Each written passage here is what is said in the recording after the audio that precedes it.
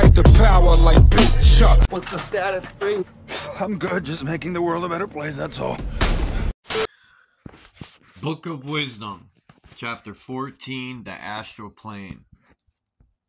The astral plane exists alongside the physical realm, comprising both a divine solar level and a lower lunar level. The divine level holds the blueprints for all things, while the low level of the initial sphere the soul reaches after death. The astral plane lacks a natural landscape, appearing white and formless. It consists of astral matter. This substance can magically manipulated akin to proto matter to create thought forms. Objects created on the astral plane can eventually manifest in the physical realm. The astral plane is made out of mental thoughts manifesting into astral matter.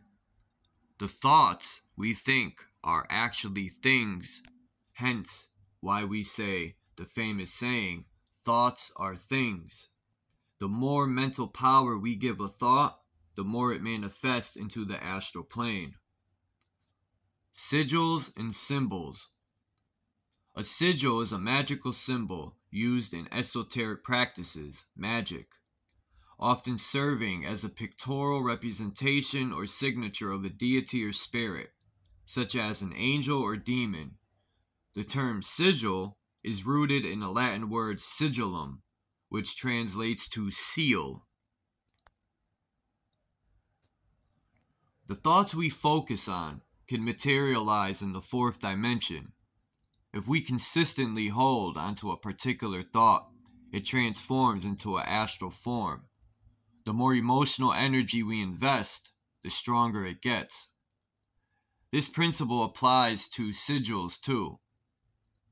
Take corporate logos like Nike's swoosh. For instance, over years, millions of minds have given it mental attention and emotional energy the symbol carries an astral energy created by the collective perception of the masses, which can be either positive or negative. Wearing sigils can either benefit us or negatively impact us, depending on what sigils we wear and keep in our eyesight. The planetary gods are not planets, they are seven cosmic energies that give off their unique energy and qualities to all that is upon the face of the earth. Wear, wear, wear their sigils if you wish to gain their virtues. The sigil of Saturn, structure and discipline. Sigil of the sun, life giver. Sigil of the moon, emotive. Sigil of Mercury, intelligence, Sigil of Jupiter, spiritual gifts. Sigil of Mars, protector of self. And the sigil of Venus, love.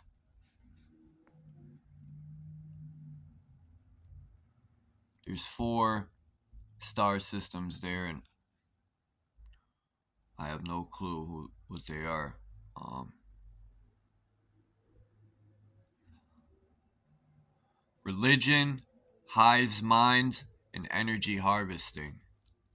The Holy Bible and other religious texts are crafted in a way that resonates with individuals at different levels of understanding. A child reading these scriptures might gain a simple, generic perception, emphasizing love and kindness. However, those versed in occult teachings or astrology may discern deeper metaphysical codes within the text highlighting the subjective nature of interp- interpretation based on one's awareness and realization. Directing thoughts, energy, and attention towards the deity Jesus Christ brings forth an entity within the astral plane. Organized religion functions as an energy harvesting tool for entities within the astral realm. Instead of advocating worship, we should be seeking to embody the qualities associated with Jesus in our life. Those in positions of power are orchestrating a collective consciousness or hive mind for the masses. The intent is to establish a global religion, unifying belief systems and leading to the summoning of a demon within the astral plane. Black magicians often focus on the astral plane in their work, as it is linked to the physical plane through the subconscious and intuition. As we see here on the right, we got some Freemasonic art, the two Masonic pillars, Joachim and Boaz, or the 11, or the, the book does get into the two pillars and the deeper meaning behind them. I don't want to ruin it, but I think, yeah, we pretty much the left and the right brain and so on and so forth. Um, we'll get into that on uh, later chapters. And below it states events occurring in the astral realm have a direct impact on the physical plane. And conversely, actions in the physical world reverberate in the astral. The numerical representation of 11 symbolizes the mirroring effect, highlighting the interconnectedness and reflection of reality between these planes of existence. Chapter 15 Astral Projection Additional info before you astral project. The astral plane is the fourth dimension. It's the unseen of what we see. It is where thought form exists mental images. It can be seen only by our mind's eye. You will experience being, beings and entities that match your frequency. So make sure you are vibrating as high as possible before trying to project. Everything you think of will manifest instantly in the astral plane, the fourth dimension. Your vision is the astral plane, will not be very clear when you first astral project. You have to work on strengthening it. You create demons. The ideas we mentally entertain can take form in the fourth dimensional plane.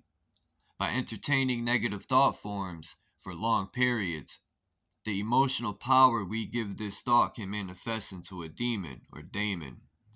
Every single mental addiction you have is some demon you created within the astral plane. It grows the more emotion or energy and motion you give it. The word demon has mun in it, which means moon. Moon is mind. We create demons within our minds.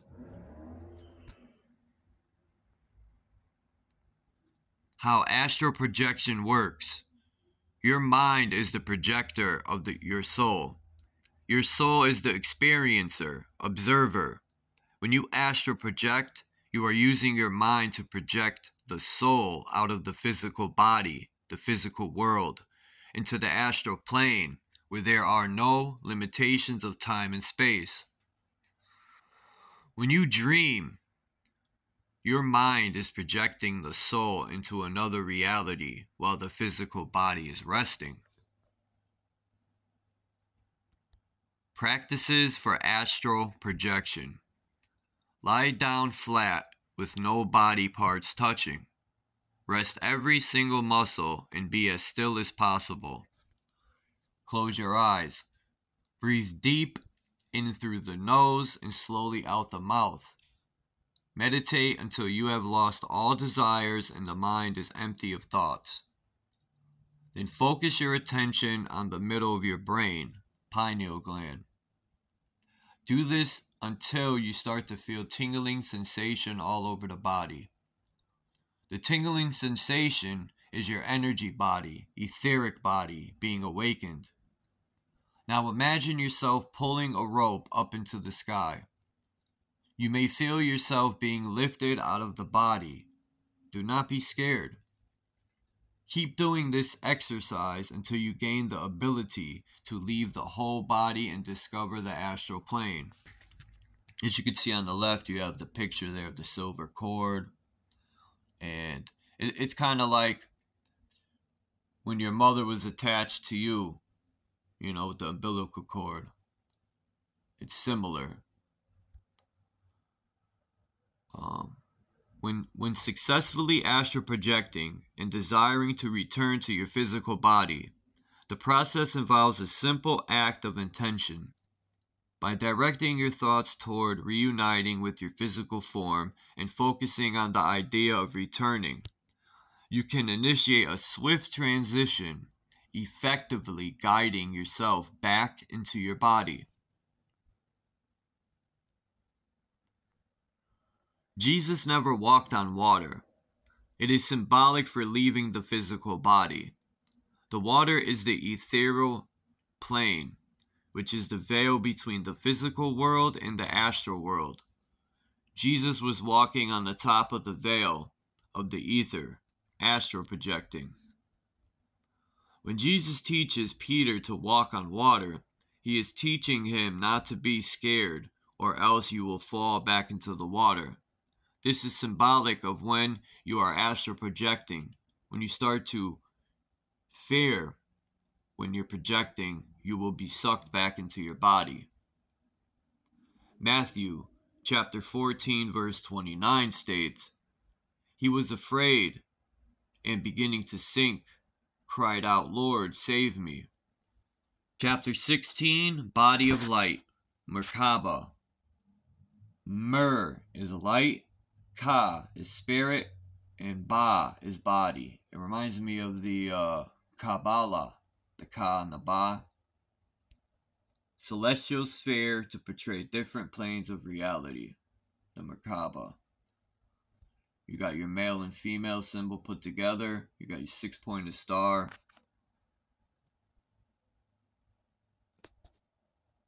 The vehicle of ascension